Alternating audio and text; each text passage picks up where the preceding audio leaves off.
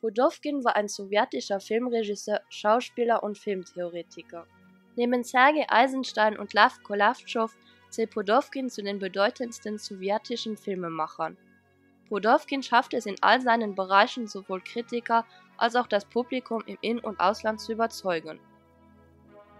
Pudowkin schaffte den Spagat zwischen künstlerischem Anspruch und Pflichterfüllung im Sinne des Sowjetregimes. Zunächst arbeitete er als Chemiker in Moskau, doch das änderte sich, als er das Monumentalwerk Intolerance des amerikanischen Stummfilmepikers David Walk Griffith gesehen hatte. Die Begeisterung Pudowkins war so groß, dass er beschloss, selbst Filme zu machen.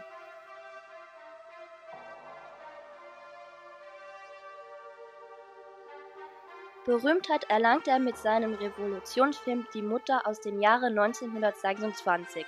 Die Verfilmung der Erzählung von Maxim Gorki gehört neben Panzerkreuzer Potamkin von Sergei Eisenstein zu den wichtigsten Filmen der sowjetischen Filmgeschichte.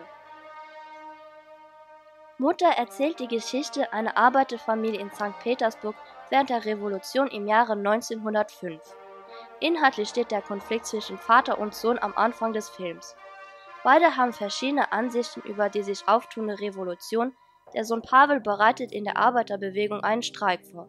Dies ist dem Vater, einem Revolutionsgegner, ein Dorn im Auge. Danach zeigt der Film, wie die Mutter Pavels bemüht ist, das Richtige zu tun und ihrem Sohn von seinen aufrührerischen Aktivitäten abzubringen. Ihr Handeln ist aber nicht politisch motiviert, sondern alleine aus Sorge um das Wohlergehen ihres Sohnes. Sie durchlebt einen inneren Konflikt und steht zwischen zwei Seiten. Auf der einen Seite steht das Wohlergehen des Sohnes und auf der anderen Seite sieht sie, mit welch einer Brutalität das Militär und die Regierung gegen die Aufständigen vorgeht. Kritiker lobten an Podowskins Stummfilm besonders den Rhythmus seiner Bildsprache, der die Handlung klar strukturiert. Aufgrund dieser strengen formalen Gestaltung gelingt es Podowkin, die politische Aussage Gorkis zu verstärken, ohne plakativ zu werden. Mutter war der erste Film aus Budowskins Revolutionstrilogie, ihm folgten Das Ende von St. Petersburg und Sturm über Asien. 1958 wurde der Film auf der Internationalen Filmausstellung in Brüssel zu einem der sechs besten Filmen aller Zeiten gewählt.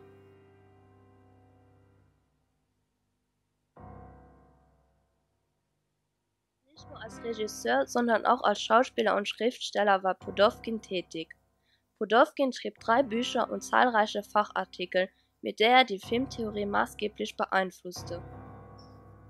Pudowkin erkannte zum Beispiel, dass die Montage mehr war als nur ein Mittel, eine Geschichte kontinuierlich von A nach B zu erzählen. Er sah in der Montage eine sinnbildende Funktion.